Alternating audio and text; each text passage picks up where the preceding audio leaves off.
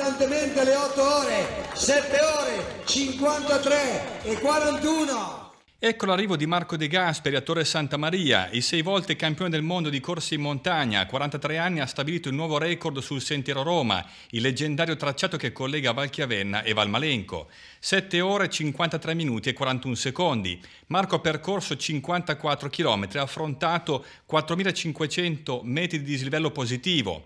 Il precedente record era stato stabilito l'8 agosto scorso da Valentino Speziali, skyrunner dalla Valmasino. Marco, raccontaci questa impresa.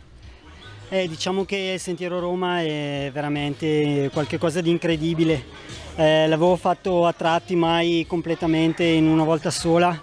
Eh, Valentino è stato veramente bravo un mese fa e diciamo che già in previsione a, a questo mio eh, tentativo, quindi lui sapeva già che poi mi sarei cimentato in questa, in questa lunghissima cavalcata anch'io è stato bellissimo veramente anche se dalla capanna allievi, dal rifugio allievi fino all'arrivo è stata una vera sofferenza.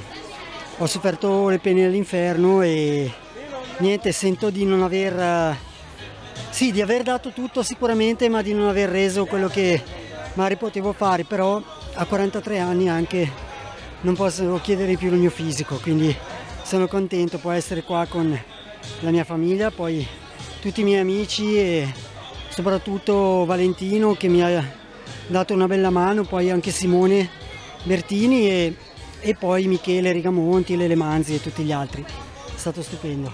Partenza novata e mezzola in Valchiavenna, si, si prosegue verso il rifugio Brasca, si sale al passo Barbacan, si tocca il rifugio Gianetti, passo Camarozzo, si attraversa la Valle del Ferro, passo Qualido, Averta, si scende al rifugio Allievi, si prosegue al passo Torrone, si scende un pezzettino e poi c'è una lunga salita circa 500 metri di dislivello che si arriva al passo Camaraccio che è il passo più alto 2009.